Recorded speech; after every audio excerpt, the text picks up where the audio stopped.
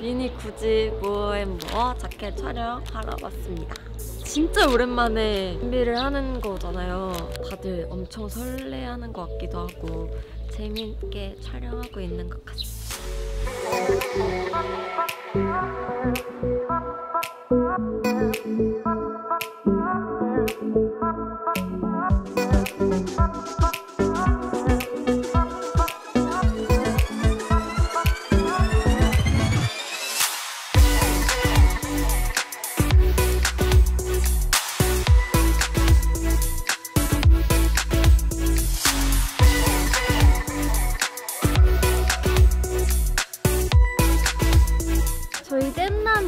막 계속 튀고 그런 안무였다면은 댄시나 필스필은 동작이 많았잖아요. 근데 그 두 개가 합쳐진 느낌이랄까요? 그게 이번 모엠 모아 컨셉이에요.